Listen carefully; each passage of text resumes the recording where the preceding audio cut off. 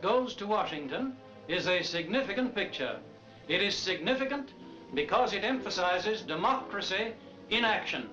I consider it a real privilege and a real experience to have played even a minor part under the distinguished direction of Frank Capra.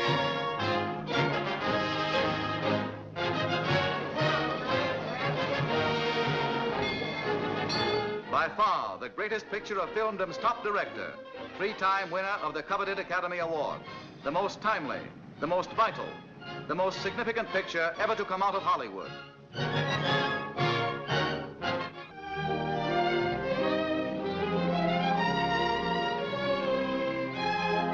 A homespun boy and a hard-boiled, worldly wise girl in a picture carved out of the everyday lives of everyday Americans with those inimitable Capra overtones of drama, laughter, and romance, plus the finest supporting cast ever assembled.